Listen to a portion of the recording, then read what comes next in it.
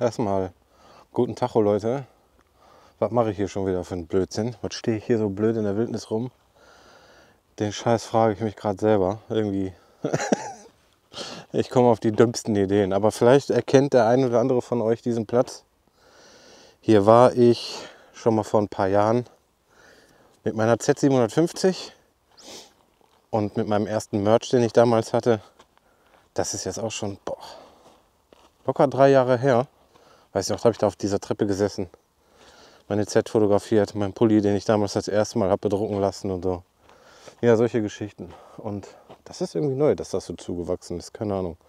Ich hatte eigentlich voll die coole Idee hier, euch mein, ja, mein neues Moped vorzustellen, was ich extra hier hingeschoben habe. Und ich habe sogar meine Drohne mitgenommen, habe zu Hause extra den Akku gecheckt. Der war noch äh, angeblich fast dreiviertel voll. Jetzt wollte ich die scheiß Drohne gleich gerade starten, ist das Ding auf einmal ratze leer. Also ich hatte irgendwie voll die geile Idee hier über die Maisfelder mit der scheiß Drohne drüber und hier über die Gleise, die da oben sind.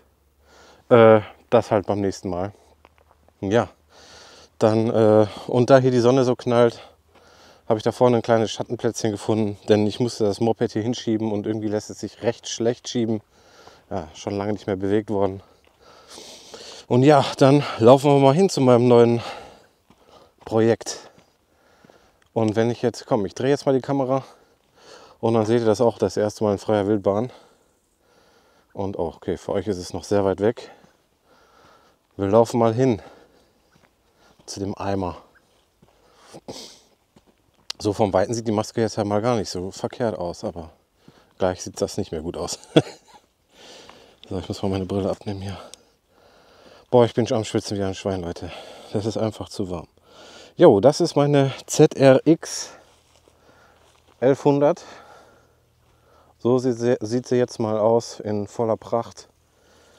Mit meiner Kamera aufgenommen und alles. Jetzt muss ich ein bisschen schauen, denn ich habe diesmal keinen Weitwinkel an, will so wenig Verzerrung im Bild haben wie möglich. Ja, eigentlich so vom Weiten sieht sie gar nicht so schlecht aus. Ich sehe sie jetzt heute auch zum ersten Mal so richtig. Also das, was ihr jetzt seht, sehe ich quasi auch zum zweiten Mal sozusagen. Ich habe sie halt abgeholt. Ah, scheiß. Irgendwas hat mich hier gepickt. Leck mich am Arsch. Ich bin kein Wildnismensch. also ich habe sie abgeholt, beziehungsweise sie wurde mir direkt gebracht an dem Tag. Ähm, das Kurzvideo habt ihr ja gesehen. Und ich glaube, das habe ich sogar am gleichen Tag noch gemacht. Ich weiß das gar nicht. Das waren ja einfach nur äh, die paar Bilder, die ich dann hinzugefügt habe, weil es halt so kurzfristig für mehr nicht gereicht hat. Ähm, ja, das ist jetzt schon, das ist schon drei Wochen her. Und heute haben wir auch wieder Freitag. Genau, das ist eigentlich am Montag genau drei Wochen her. Und äh, ja, so lange habe ich die Maschine. Ich habe sie dann nur zu Hause, habe die vier, fünf Bilder gemacht, die ihr gesehen habt im letzten Video, beziehungsweise im letzten Kurzvideo, wo ich das Teil vorgestellt habe. Ganz, ganz kurz. Jetzt stelle ich es eigentlich richtig vor. Das war eigentlich nur, um euch mal so zu zeigen, hallo, was, hab der Scorp was hat der Scorpio sich da wieder geholt?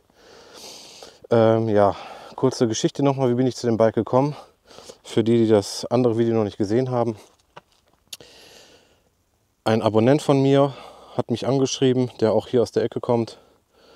Ähm, äh, ja, ich glaube, das habe ich, das könnt ihr euch im, im, Kurzvideo anschauen, wie das zustande gekommen ist. Ich mache jetzt nur mal eben so einen, so einen kurzen Breakdown, wie das war. Habe mich angeschrieben, letztendlich, ob ich darauf nicht Bock hätte. Das ist die Maschine äh, seines Vaters gewesen. Und ähm, ja, der hat irgendwie, weiß ich nicht, keinen Bock mehr drauf, die wieder herrichten zu lasten oder was auch immer. Und ja, für wirklich sehr, sehr, sehr, sehr kleines Geld habe ich sie dann direkt abgeholt sozusagen, beziehungsweise bin hingefahren, habe sie mir angeguckt die sagen mir zwar, die steht erst zwei Jahre, ähm, genau so wie sie aber aussieht, habe ich schon ein Video, was schon über zwei Jahre alt ist. Also die wird auch jetzt nicht viel gefahren worden sein. Mag sein, dass sie vielleicht einmal beim TÜV gegangen ist noch, notgedrungen. Aber so wie sie hier steht, da gebe ich, da gebe ich euch Brief und Siegel, ist die nicht gefahren in den letzten zwei Jahren und auch vor den zwei Jahren nicht. Ähm, sowas sieht man einfach. Aber egal. Ähm, ja. soll mich ja nicht aufhalten. Wenn für die Leute, die mir schon äh, länger zugucken, ich habe ja auch die VN15 aufgebaut und die hat zehn Jahre gestanden. Also solange der Motor dreht und laufen würde, und der Rahmen nicht verzogen ist, ist alles machbar. So, ähm, ja. Dann zeige ich es euch mal von der Seite. Ich, also ich gucke sie jetzt auch das erste Mal an. Ich habe sie eben, äh, das hat halt bei mir in der Garage stehen gehabt, äh, reingestellt und ja, drei Wochen nicht angeguckt. Ja, wollte das zusammen mit euch machen sozusagen und gehe jetzt auch das erste Mal richtig durch. Jetzt sehe ich auch das erste Mal, wie viele Macken das Bike eigentlich hat.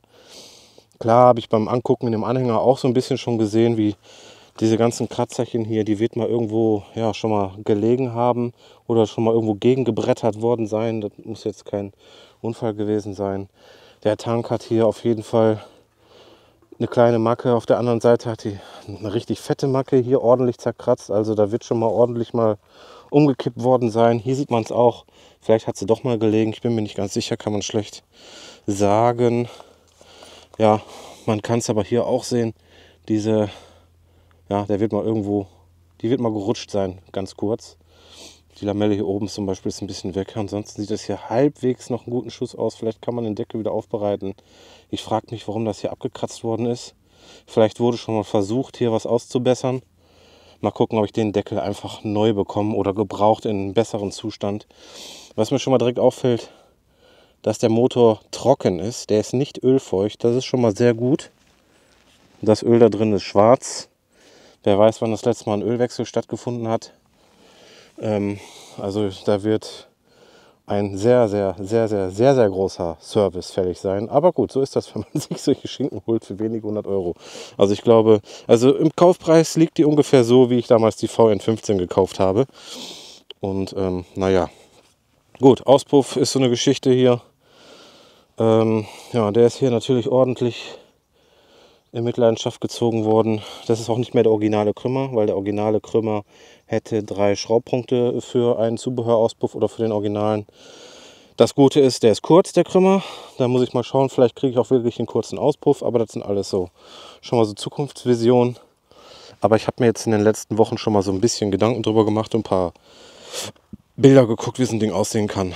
Ich denke mal, wir sind uns alle einig, dass diese hässliche Maske da nicht bleiben wird. Ich hatte die wildesten Ideen, ähm, ihr wisst ja schon länger, ich hatte Bock auf ein Projektbike. Eigentlich wollte ich so eine alte KZ mal umbauen. Ähm, entweder zu einem Scrambler oder Coffee Racer oder so eine alte KZ Twin zu einer zu eine Japan Chopper, so richtig krass Umbau. Gut, Japan Chopper fällt ja hier schon mal raus. Wer baut aus einer ZRX einen Chopper? Ich schon mal nicht. Ähm, dann hatte ich überlegt, baue ich die zu einer Street Fighter um. Also so richtig krass.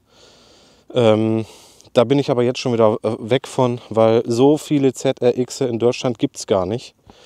Und dann mache ich lieber hinten ein bisschen höher, machen dieses, da kann ich schon mal sagen, hier diese, dieses Originalgeraffel, da gibt, das geht alles weg. Da gibt es ja extra so eine Verkleidung von unten drunter, damit das clean aussieht. Ich hoffe, das konnte man jetzt auf der Kamera auch sehen, weil ich die Kamera doch recht hoch gehalten habe. Ähm, was mir hier schon mal gefällt, die Felgen sind poliert, nur die Innengrenze sind äh, lackiert oder ich weiß nicht, ich gehe mal davon aus, dass sie lackiert sind. Ähm, ich glaube, der Buchsboiler sieht auch noch in einem halbwegs guten Zustand. Ja, vorne sind auch Lack ab. Also ich hatte erst gedacht, dass bis auf dem Tank der Rest vom Lack relativ gut im Zustand wäre. Ist er nicht. Ist er wirklich nicht. Ähm also ich sag's mal ganz ehrlich, Klar, für das Geld, glaube ich, hätte das jeder von euch gekauft, der ein bisschen handwerklich begabt ist und Bock auf so ein Projekt hat und das Ding auch wieder auf die Straße. Jetzt nur rein theoretisch nur auf die Straße bringen, ist neuer Hinterreifen, Service, sofern der Motor läuft. Heißt Service, Vergaser muss gemacht werden komplett. Was habe ich denn hier schon wieder für ein Biest drin auf meinem Kopf? Ja, meine neue Frisur, wie gefällt sie euch? Sie sind schon wieder lang gewachsen. ähm, ja. Ja, also wenn es jetzt nur darum geht, die Not dürftig auf die Straße zu bringen. Wäre es wirklich nur neue Hinterreifen, neue Batterie, Öl, äh, alles was mit Vergaser zu tun hat, muss gemacht werden. Und äh, weil die Elektrik funktioniert, das habe ich schon mal getestet. Jetzt die Batterie wieder ratzleer. Ähm, ja, aber ich will sie ja nicht so fahren. Schon allein, also, also, also, weiß nicht, das ist sowas von 90er Jahre irgendwie, auch 90er Jahre Tuning, keine Ahnung. Ich gehe mal davon aus, dass das ich bin mir nicht sicher. Es gibt ja, es gibt ja zwei Modelle von den ZRX. Einmal die mit dieser Verkleidung vorne, nicht die, die jetzt drauf ist, sondern diesen, mit diesem viereckigen Licht. Und dann gibt es die N-Version mit einem runden Scheinwerfer. Ich kann jetzt noch gar nicht sagen, welche genau das mal gewesen sein könnte.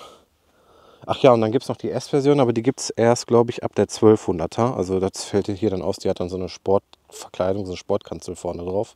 Federbeine hinten sehen soweit gut aus, glaube ich.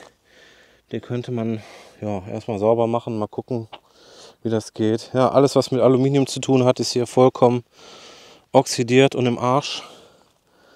Ähm also das sind nicht nur Standschäden, sondern das sind einfach wie soll ich sagen, vom Zustand her nicht gepflegt. Einfach absolut gar nicht gepflegt.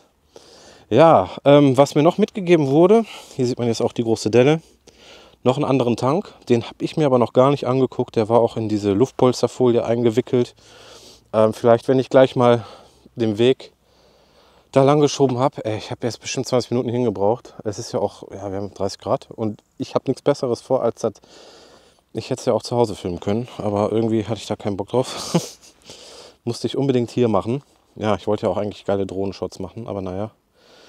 Äh, ja, ich zeig mal mehr das Moped. Genau, ein anderer Tank ist dabei. Ich habe nur mal kurz reingeguckt, der ist wohl schwarz-matt. Aber laut denen soll der komplett frei von Macken sein. Den könnte man jetzt aber auch wieder richten lassen. Entweder würde, hätte ich es jetzt selber probiert oder äh, ja, es gibt halt Leute, die sowas machen können.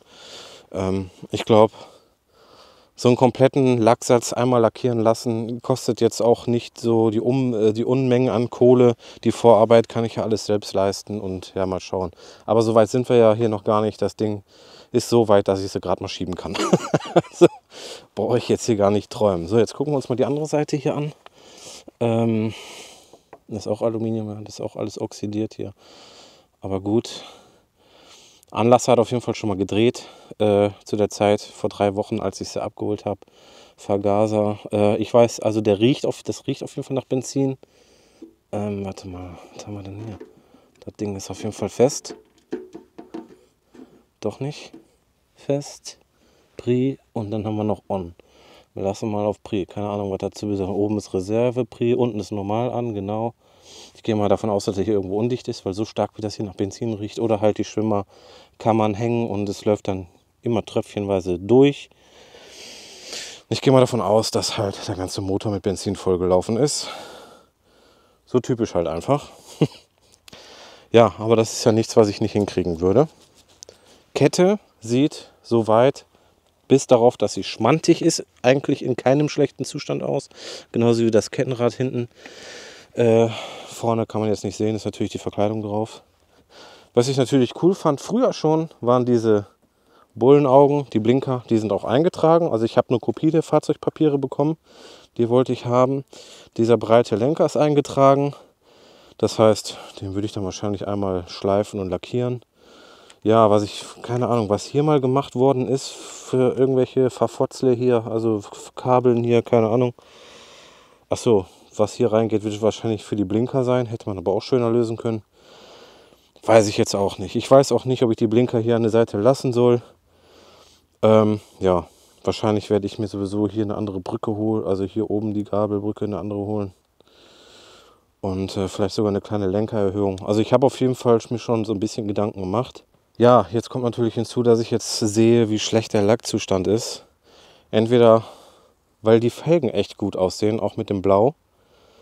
Ich weiß nicht, was, was sagt ihr? Sollte ich die in diesem Blauton wieder original nach, nachlackieren lassen? Warte, ich gucke mir jetzt erstmal die Verkleidung hinten an. Ja, das ist alles schon sehr stark vermackt hier alles. Man, ja, man sieht, das ist auch nachlackiert. Das ist, glaube ich, nicht originalblau gewesen. Hier drunter ist rot. Hm. Ja, da habe ich mir noch keine so richtigen Gedanken drum gemacht. Äh, wir können ja mal die Sitzbank öffnen. Hier meine Drohne mit sehr viel Strom. Ja, ich bin schon Panne. So, das funktioniert wenigstens auch. Ja, Sitzbank ist natürlich, da ist ein Riss drin. Äh, ja, muss man dann auch neu beziehen lassen oder wieder was. Vielleicht lasse ich es auch gleich direkt irgendwie nachpolstern oder so. Da wurde Gott sei Dank nicht rumgeschnibbelt. Äh, ja, nur, was ist denn hier hinten? Ach so, das sind äh, Widerstand, also Lastrelais. Ja, ist halt, wurde halt früher mal so gemacht. Ich gehe mal davon aus, dass das schon sehr, sehr, sehr lange so ist. Hier drunter sind der Luftfilter. Da unten ist eine Batterie von Polo. Oh, hier ist sogar noch Werkzeug drin. Ja, krass. Ja. Keine Ahnung, was da drin ist. Irgend so ein Kram halt. Weil ich gar nicht gedacht, dass das so tief runter geht. Ja, was es wohl gibt, es gibt wohl noch eine etwas kürzere Verkleidung für hinten. Jetzt nicht original, aber so nachgebaut. Die gibt es sogar hier auch in Rheinbeck bei einem, der auch so Motorradteile vertreibt. Ähm, aber ich glaube, ich versuche die, ja, was heißt originalgetreu aufzubauen? Originalgetreu in meinem Style, sagen wir mal so. Ich weiß nicht, wer von euch schon mal eine, ja doch, ich weiß, einer von euch, der zuguckt, der hatte mal eine ZRX. Der Patrick aus der, von der Nordsee. Und du müsstest jetzt erkennen, was hier schon mal nicht stimmt. Was ich aber geil finde, was nicht stimmt. Das ist nämlich ein viel, viel breiterer Hinterreifen. Da ist nämlich eine Felge vermutlich von einer ZZR 1200 drauf. Die ist auch eingetragen mit der Reifengröße. Ähm, genau. Da muss ich aber auch nochmal mit dem TÜV-Prüfer quatschen, weil da stehen natürlich Reifen drin und die sind schon seit 15 Jahren, werden die nicht mehr produziert. Aber auch die Reifen, die ja jetzt drauf sind, sind ja schon ziemlich, ziemlich alt. Die gibt es auch jetzt nicht mehr. Ich glaube, dass man einfach nur die Marke, dass es eine Markenbindung wohl ist und natürlich, dass man auf die Größe achtet. Aber jetzt muss ich mal eben gucken. Steht denn hier irgendwo eine Größe? Ja, hier steht nämlich 180, 55, 17. In den Papieren steht, steht aber 185. Äh, da bin ich jetzt echt überfragt. Das ist jetzt komisch. Oder bei dem Foto, was ich bekommen habe, irgendwie ist es schlecht ablesbar. Aber 185 habe ich halt vorher noch nicht gesehen. Das ist auf jeden Fall ein 180er. Ja, weiß ich jetzt auch nicht genau, was ich da machen soll. Oder was ich da bestellen soll. Ich weiß nicht, ob da überhaupt ein 185er reinpasst. Ich weiß, dass es die gibt, aber nur sehr selten. Würde hier aber nicht passen. Schon allein das Kettenrad, äh, ach, der Kettenschutz. Ich weiß nicht, ob ihr das sehen könnt. Da passt ja fast gar nichts mehr zwischen. also ein 185er würde da gar nicht reinpassen. Äh, keine Ahnung, was da mal abgetippt wurde. Da muss ich mich schlau machen. Aber deswegen war die auf die Papiere, weil sonst hätte ich schon längst einen Reifen bestellt. Ich hätte dann nämlich direkt alles auf einmal bestellt. Ölfilter, Öl, Luftfilter, komplett, ja, so ein Vergaser, Instandsetzungskit, also die üblichen Sachen, äh, Zündkerzen, so damit die technisch auf jeden Fall wieder fit ist soweit. Ähm, ja, so, dann kann ich euch auch schon mal direkt erklären, wo, ich, wo meine Reise so ein bisschen hingehen soll. Ich habe ja gesagt, okay, ich laber. Da wird, ein, wird ein, wieder ein starkes Labervideo von mir, aber irgendwie habe ich da gerade Bock drauf. So, das hässliche Ding kommt auf jeden Fall ab. Ich weiß nicht, wenn von euch daran irgendwie jemand Interesse hat. Ich weiß auch, dass diese Augen gerne in der Street Fighter Szene irgendwie gebraucht werden oder so. Die haben ja, sind mit Zulassung der ganze Scheiß. Ich will dieses hässliche Teil nicht haben. Finde ich echt, also, also da gibt es deutlich schönere. Ähm, ja, weiß noch nicht, ob ich die Halterung dann brauche. Ich möchte die auf jeden Fall, ich baue die auf einer Nackt um. So wie sie, ich blende mal ein Foto ein. Ungefähr, wie sie aussehen könnte. Und ja, also ich hole mir dann auch einen ganz normal 7 Zoll LED-Scheinwerfer für vorne. Denn ich habe, also ich bin jetzt ein paar Mal auch mit der BMW gefahren im Dunkeln. Das Licht ist jetzt nicht scheiße, aber wenn ich mit meiner Harley fahre, wo LED ist, also da sieht es alles und einfach viel geiler. Vorne kommt auf jeden Fall LED rein. Die sind jetzt ja auch nicht mehr so teuer. Ähm, Blinker weiß ich noch nicht. Ob ich dann auch wieder Lenkerendenblinker reinmache, weil jetzt, wo ich hier sehe, wie hässlich das hier mit dem Kabel gemacht ist und so, vielleicht kann man das irgendwie schöner verpacken. Mache ich mir noch Gedanken drum. Ansonsten kommen halt hier auch LED-Blinker dran, genauso wie hinten. Es gibt ein Last, lastunabhängiges äh, äh, Relais für die Blinker. Nicht mehr so ein Scheiß hier, was man halt früher gemacht hat und so. Dadurch, dass hier Gott sei Dank zumindest was ich jetzt hier sehen kann, so wenig verbastelt worden ist, äh, ja, brauche ich da keine großartigen Sorgen haben. Das ist schon mal auf jeden Fall was Positives, bis auf diesen Scheißkram da. Ja, ach, das sind auch so diese typischen alten Blinker von früher. Die hat, ich glaube, die hat sogar mein Vater auch auf, auf seiner XJR Street Fighter. Ich meine, die habe ich früher auch auf, auf, auf meiner ZZR Street Fighter gehabt. Ich bin mir gar nicht sicher. Also, es sind so typische, ja, Anfang 2000er Blinker. Aber gut, das ganze Motor ist von Anfang 2000. Ich meine von 2001. Ich bin mir jetzt nicht ganz sicher. Egal. Ja, was mir auf jeden Fall gefällt, breiterer Hinterreifen als Original. Finde ich sehr gut, finde ich ein bisschen männlicher. Ich bin ja auch ein bisschen stämmiger, dann kann auch ein fetter Reifen hinten sein. Alles, was mir oben fehlt, habe ich unten zu viel. Äh, wenn der jetzt nicht gewesen wäre, wäre natürlich auch gut gewesen. Sonst hat er, glaube ich, 160er oder 170er Reifen. Das macht den Braten jetzt auch nicht viel fetter, aber das bisschen macht schon mal was her. Das Frontschutzblech ist auch nicht original. Ich weiß nicht, ob ich mir ein originales holen soll oder ob ich das einfach weiterverwende. Ähm, Finde ich jetzt nicht so ultra hässlich oder so. Ich denke mal, wenn alles einmal einheitlich lackiert sein sollte, hier wurde auch schon mal was gesprüht, dann ist das in Ordnung. Ja, die Gabel braucht auf jeden Fall einen Service. Ich denke mal, das kann man hier sehen. Ja, die brauchen Service. Das ganze Gabelöl sippt da raus. Also Öl. Eventuell hole ich direkt neue Wilbersfedern für da drin und ja, Simmeringe. Der ganze Scheiß. Das ist gar nicht so kompliziert, das kriege ich auch selber hin ja, ich denke mal, direkt neue Bremsbelege vorne, hinten. Also so Kleinkram. Aber da kommt dann auch der ein oder andere Hunderter zusammen. Wenn man mal überlegt, was kostet ein neuer Hinterreifen, sagen wir mal Pi mal Daumen 180 Euro. Vorne der Reifen, der ist ja noch echt gut. Der hat ja sogar hier noch diese farblichen Streifen drauf. Also der ist echt noch gut, der Reifen vorne. Äh, muss ich mal gucken, warte mal, aus von welcher Serie? Ich meine, das ist auch ein Buttlax. Äh, Bridgestone. Nee. Doch, ein BT14, auch ein BT14, genauso wie hinten. Ich weiß nicht, wenn es den hinten auch nochmal gibt als BT14, dann hole ich den so nach. Ansonsten mal gucken. Vorausgesetzt, dass mit dem TÜV ist alles so konform, weil in meinen Papieren steht nämlich was anderes drin. Ja, werden wir sehen. Ansonsten, Motor muss halt gemacht werden. Auch optisch. Diese ganzen Deckel hier, ich weiß nicht, was man sich dabei gedacht hat, das einfach nur so ein bisschen abzuschleifen. Aber gut, war halt irgendeine Idee und die ist in meinen Augen schief gelaufen. Bin mal gespannt, was sagt ihr so zu dem Bike und den Ideen. Aber ich weiß auch schon genau, welche Spiegel hier drauf kommen. Die alten Wilma-Spiegel, die werde ich mir wieder bestellen. Ich fand die geil, weiß nicht, die würden hier auch drauf passen. Die ich auch auf meiner Z drauf hatte. Die habe ich, glaube ich, auch mal bei Amazon für ein paar Taler bestellt. Jetzt kosten sie wahrscheinlich doppelt so viel. Aber ja, ah, was mir hier auffällt, die Flüssigkeit ist noch gar nicht so alt. Was ich aber schon gemerkt habe, äh, hier auf jeden Fall, wenn der Motor aus ist, ich, an hatte ich ihn ja noch nicht. Also schalten hier ist, also die Kupplung macht nichts. Jetzt sehe ich hier aber auch schon zum Beispiel, hier ist auch schon mal irgendwie was, was nicht richtig sitzt. Natürlich ein bisschen doof, aber ich glaube, das sind alles so Kleinigkeiten. Ja, muss man sich alles mal in Ruhe anschauen. Ich meine, ich sehe das Motorrad jetzt auch so richtig zum ersten Mal, genauso wie ihr. Ich habe es mir vorher wirklich nicht angeguckt. Ähm, ja. Das heißt, jetzt gehen erst so richtig die Gedanken los. Jetzt sehe ich erstmal so richtig, was da am Bach ist mit dem Ding.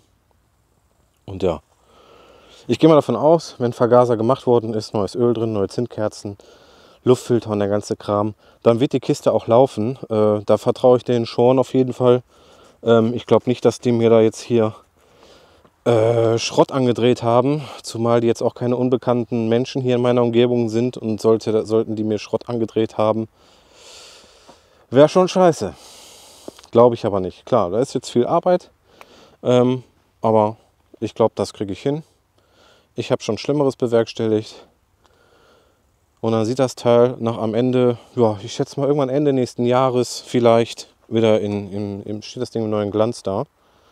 Und ich gehe mal davon aus, das hält sich in Grenzen. Das ist jetzt nicht so ein Komplettaufbau wie die VN15, wie die Carry. Nee. Ja doch, war das Carry? Ich komme mit den ganzen Motorradnamen durcheinander. Es tut mir total leid, meine Frau wird mir dafür jetzt auf den Kopf hauen. Ja, keine Ahnung. Ich, meine Frau hat dem Motorrad auch schon wieder einen Namen gegeben. Warte, ich muss, ich mache mal eben eine Sprachnachricht. Was ich auf jeden Fall gut finde, ist, das habe ich auf der anderen Seite auch schon gesehen, dass nicht über diese Schrauben hier drüber lackiert wurde und dass die nicht ausgenudelt sind. Das finde ich schon mal gut. Das heißt wirklich, im Umkehrschluss, klar, sollte ich natürlich keinen anderen Deckel finden, versuche ich die so weit wie es geht äh, hübsch zu machen und neu zu lackieren oder pulvern zu lassen oder wie auch immer. Genauso wie diese, ja, die Fersenteile hier und äh, ja, all das kann man wieder herrichten. Ist auch gar nicht so, ja, kompliziert, das alles zu machen. Es ist halt Fleißarbeit. Ja, der Krümmer ist leider nicht verchromt. Schade. Vielleicht kriege ich den aber trotzdem mit Neverdul oder irgendwie nochmal so halbwegs schön hin. Der sieht auch nicht so alt aus, aber ich weiß noch nicht. Vielleicht Bleibt der Krümmer nicht oder bleibt er doch am Anfang? Da bin ich mir alles noch so richtig unsicher. Am wichtigsten sind erstmal so die Sachen, die wirklich gemacht werden müssen im Laufe nächsten Jahres. Da werde ich dieses Jahr großartig nicht mehr mit anfangen. Das Höchste, was ich dann mal mache, das werdet ihr natürlich dann auch sehen, Öl ablassen, neues Öl rein, Vergaser raus.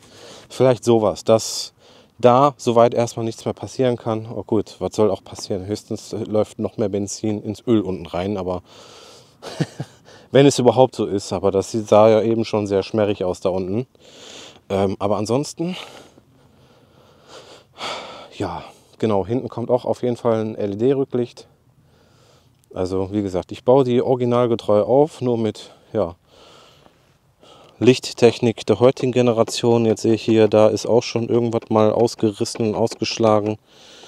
Äh, klar, das ist alles einmal ein bisschen Arbeit. Hier sehe ich das jetzt nicht viel. Ah doch, hier kann ich das sehen. Ist einfach nur nicht festgeschraubt. Ja. Das ist ja diese Unterverkleidung, die man von unten sehen kann. Und da sind so Ösen vom Rahmen und da sind auch Muttern eingeschweißt und das ist da nicht festgeschraubt. Das heißt, nur die Seitenverkleidung ab, einmal festmachen und dann hängt das Ding wieder anständig. Ich habe schon gedacht, da wäre was gebrochen. Da habe ich diesmal Glück. Aber das kommt da eh ab. Das heißt, da kommt eine neue Unterverkleidung dran. Mit einem schönen Kennzeichenhalter und so weiter. Alles so ein bisschen moderner und vernünftig, aber trotzdem den Charme dieses Motorrads möchte ich doch nicht verlieren oder sagen wir mal so, möchte ich wieder herstellen. So länger ich mir das Ding angucke, umso mehr sehe ich, oi, oi, oi. aber trotzdem ist es eine sehr, sehr gute Basis. So, es ist ein gutes Projekt für euch, ein sehr gutes YouTube-Projekt. Äh, ja, ein Superbike sozusagen, hat man früher zumindest zu diesen Teilen so gesagt. Ich sehe Bremsflüssigkeit hinten und der Behälter, das ist klar. Das heißt, es ist nicht nur Ramscher, was hier passiert wurde, das habe ich ja eben auch schon hier vorne gesehen, das, äh, die, die ist halt klar. Das heißt, die ist keine 20 Jahre alt, das wurde halt schon mal gewartet.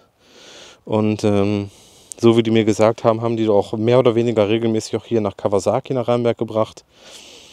Und ähm, jetzt haben die denen wohl gesagt, dem Vorbesitzer hier, äh, du, das macht irgendwie keinen Sinn, man steckt da 3.000, 4.000 Euro rein. Klar, wenn man es bei der Werkstatt macht, dann wird das alles richtig teuer und richtig viel Geld, wenn man es einmal anständig haben will. Für so einen wie mich ist das ein gesundes Fressen. Ne, wie heißt das? Für so einen wie mich ist das ein gefundenes Fressen. Was habe ich denn für einen Quatsch schon wieder erzählt hier? Naja, egal. Ähm, ich glaube, das wird ein schönes Bike. Das heißt, ich habe aktuell ja, mal wieder drei Motorräder. Über die Farbe bin ich mir noch komplett unschlüssig. Ich habe absolut keine Ahnung. Wenn ich den Lacksatz irgendwie jetzt anders lackieren sollte, dann muss ich die Felgen ja auch anders lackieren und die Felgen sind echt in einem guten Zustand. Äh, klar, ein bisschen auf den Dreck jetzt, aber ansonsten, ich weiß es auch noch nicht. Aber wie gesagt, da so weit sind wir ja noch sehr, sehr, sehr, sehr lange nicht. Das wird auch dieses Jahr auch gar nicht mehr Thema werden. Aber ansonsten, bis auf die ganzen Macken, und wenn man den Preis, gut, ihr wisst den Preis nicht, aber was soll ich sagen, auch hier da kann man an einem Wochenende mehr versaufen an Kohle als das, was ich jetzt dafür bezahlt habe. Es liegt sich in der, in der Anschaffungskosten so ungefähr wie die VN15 damals. Nur, dass hier alles da ist.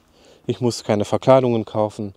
Ich muss keine Elektrik kaufen. Das ist alles da. Ich muss halt einfach nur instand setzen.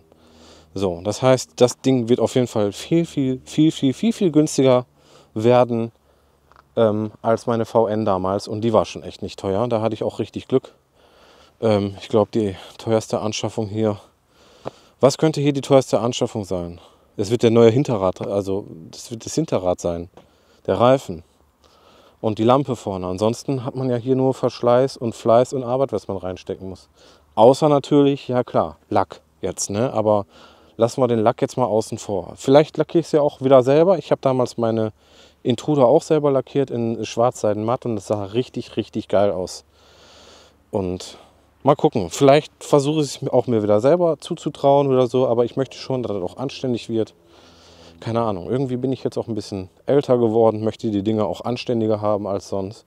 Aber ihr kennt mich, ich suche immer irgendwo eine Lösung, wo man Geld sparen kann. Nicht, dass ich es sparen müsste, sondern weil ich es will. Ich will ja auch zeigen, dass so eine aktuelle ja, Ich glaube, ich glaub 80 oder 90 Prozent der anderen Motorradfahrer würden sagen, was kaufst du da für eine Schrottkiste, was hast du dir da angetan? Und äh, ja, aber ich will euch ja zeigen, dass es geht, dass man auch in der Garage mit relativ wenig Mitteln, wenn man ein bisschen Know-how hat, oder selbst wenn man es nicht hat, man eignet sich das an, äh, mit Werkstatthandbüchern und so weiter und so fort, wenn man sich einfach nur traut, ist es möglich, so ein Bike auch wieder auf die Straße zu bringen und das auch ansehnlich auf die Straße bringen. Klar, es ist kein fabrikneues Bike dann oder ich bin auch kein Customizer, ich bin kein Lackierer, ich bin kein sonst was, ich bin absolut kein Profi. Du Drogendealer, du! Alles, was ich hier mache, habe ich mir irgendwo selbst beigebracht und was ich nicht kann, versuche ich mir beizubringen. Und wenn es dann immer noch in die Hose geht, dann kann ich das Teil, was ich nicht kann, immer noch wegbringen. Da habe ich keine Probleme mit, aber ich versuche es halt immer selber. Ja, Leute, ich habe schon wieder Sabbelwasser gesoffen. Dabei habe ich gar nichts zu trinken dabei. Ja, es ist einfach zu heiß. Ich glaube, ich bin hier in der grünen Sahara gefangen. Wieso bin ich hier Ei? Das sind so komische Beeren. Kann man die essen? Ich weiß das nicht. Es gab da mal so Beeren, die man essen konnte, aber die sind es nicht. Egal. Ähm, ich freue mich auf das Projekt. Und zwischenzeitlich weiß ich auch den Namen. Abigail. Die ZRX wurde auf den Namen Abigail getauft. Und ja, ihr seid live dabei. Was heißt live dabei? Ihr seid auf jeden Fall dabei wenn die Videos, die Videoreihe damit losgeht. Vielleicht kommt dieses Jahr schon das ein oder andere Video. Aber wie gesagt, es werden keine großen Umbauaktionen, sondern es wird, wie gesagt, Vergaser raus, Öl ablassen, diese Sachen. Eventuell werden wir sie dieses Jahr schon zum Laufen bringen, dass ich weiß, der Motor ist in Ordnung. Ähm, ich kann auch nicht sagen, wie viel runter hat. Wie gesagt, ich habe keine Papiere, ich habe keine TÜV-Bescheinigung. Ich habe nur das, was hier auf dem Tacho steht. Da steht jetzt 12.226. Ich gehe mal davon aus, dass davor noch eine 1 gehört. Oder das Tacho ist nicht mehr original. Ich keine Ahnung. Das war einfach auf Vertrauensbasis gekauft. Ja, und einfach weil der Junge auch gesagt hat, er hätte gern oder die hätten gerne, dass der Motor in gute Hände kommt. Ja, gute Hände. Also, die, also also da muss ich schon ein bisschen drüber lachen. So, tut mir leid, ich will das doch nicht schlecht machen jetzt, aber wenn man, wenn man mir so sagt, ich, wir wollen oder er will, dass das äh, Bike in gute Hände kommt und bei mir hat er da ein gutes Gefühl und dann sehe ich mir an, welchem Zustand das hier alles ist. Gut, wäre der, wär Teil in einem guten Zustand, hätte man dafür drei, vier Scheine nehmen können. Also, ne, davon mal ab. Äh, aber trotzdem. Gut, also es ist wahrscheinlich der emotionale Wert, gerade auch für den Jungen, der auch äh, ein Faible für, Mo für Motorräder hat. Und ähm, auf jeden Fall Grüße gehen raus. Schön, dass du da an mich gedacht hast. Und bring mir die Papiere, falls ich die nicht schon habe, jetzt, wenn das Video rausgekommen ist. Denn das mit dem Hinterrad, das muss geklärt werden und das will ich jetzt bald geklärt haben. Das ist so eine Sache, die ist bei mir eine Schwebe und ohne die richtigen Papiere, keine Ahnung. Ich bin nämlich kein TÜV-Mensch, ich will das alles safe haben. Für den Rest Gut, da kriege ich alles so hin, aber das muss jetzt gemacht werden. Wenn ich Pech habe, ja, keine Ahnung. Auf jeden Fall, ich weiß ja, die Felge eingetragen ist. Das habe ich ja auf der Kopie gesehen, aber das Foto von der Kopie war auch wieder wie aus dem letzten Weltkrieg. Also man konnte nur so raus erahnen, was da ungefähr steht. Und ich meine, da stand eine Reifengröße, Reifenbreite von 185. Jetzt sehe ich, da der Reifen ist ein 180er. Super. Wäre natürlich besser, wenn das ein 180er wäre, auch in den Papieren, weil der ist günstiger als der 185er. Äh, ist natürlich ein, ein geläufiger Reifen. Äh, ja, werden wir sehen. Ihr seid auf jeden Fall dabei, wenn ich anfange, den Schinken, ja, was heißt auseinanderzunehmen, aber so schon mal die ersten Kleinigkeiten äh, machen werde. Oder wenn ich mir schon was Neues dafür gekauft habe oder so. Äh, ja, ich, also ich habe es auf jeden Fall vor. 7 Zoll Scheinwerfer vorne, LED, neue LED-Blinker. Ich weiß nicht, ob sie hier hinkommen oder ganz normal hier, wie sie dann sonst original wären. Genauso wie hinten schöne LEDs und auch ein schwarzes LED-Rücklicht. Damit hätten wir das Ganze. Die Wilmer-Spiegel kommen dran. Äh, die Lenkerstange wird auf jeden Fall schwarz werden. Entweder hole ich mir einen neuen, weil die sind echt nicht mehr teuer, oder ich schleife den, lackiere den. Mal gucken. Mal sehen, was hier sonst noch so auf mich zukommt. Ich weiß, dass diese Gehäusen, weil ich glaube auf der anderen Seite, ja, war das nämlich auch ordentlich verkratzt. Entweder mache ich mir wirklich die Arbeit, schleife das, spachtel das und lackiere das schön schwarz matt.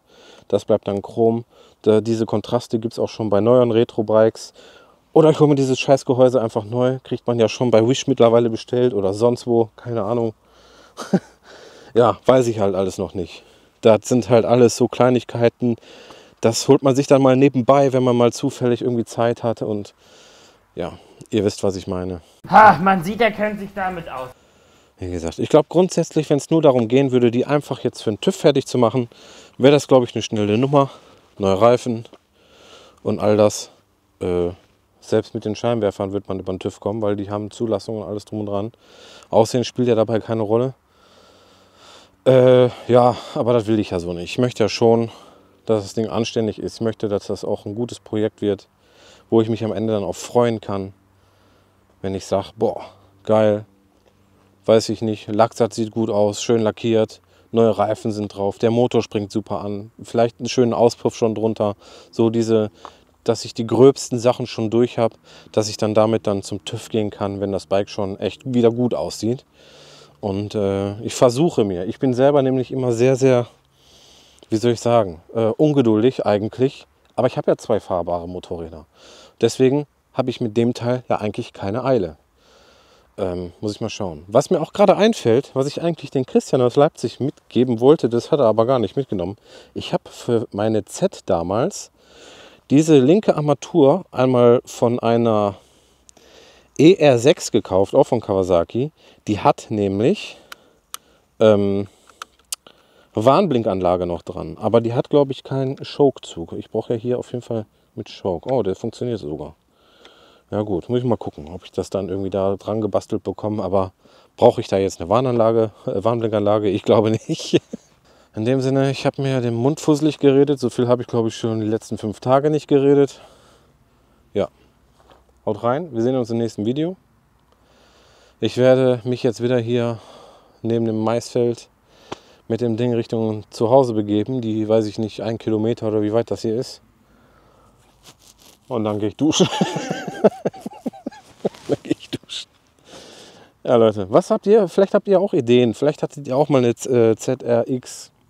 Äh, was habt ihr damals daran verbaut? Oder würde mich mal interessieren. Habt ihr vielleicht Ideen als Farbe oder so? Ich will mich auch so ein bisschen inspirieren lassen. So, das ist ja kein Projekt, was ich jetzt unbedingt in einer Woche fertig haben will. Wie gesagt, das wird locker ein Jahr dauern. Vielleicht sogar ein bisschen länger als ein Jahr. Mal schauen, weil das mache ich alles so nebenbei, so peu à peu und soll halt auch anständig werden. Und äh, ja, vielleicht kann ich mich ja von euch so ein bisschen inspirieren lassen. Ihr wisst, in welche Richtung ich möchte. Ist ja stilmäßig gar nicht so groß verändert dann. Sitzbank weiß ich auch gar nicht hier, da der Schinken hier, das muss auf jeden Fall neu gemacht werden. Ja, muss man dann halt gucken, in welchem Lackkleid ich das Motorrad mache. Oder mache ich die auch wieder in irgendeinem Originalton, wie sie früher mal gewesen ist. Weil ich glaube, das Blau ist einfach nicht original. Die wird mal nachlackiert worden sein. Ja, aber werden wir sehen. Wir werden sehen, weil das kann man nämlich hier sehen. Ich habe es auf den gesagt. Da, seht ihr das?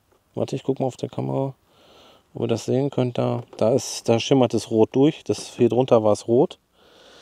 Kann aber auch natürlich sein, dass zum Beispiel nur die Heckverkleidung mal neu gekommen ist und im originalen Blauton, falls es den mal gab, nachlackiert worden ist. Aber ich sehe hier auch, nee, die war mal rot. Das war rot, das war rot.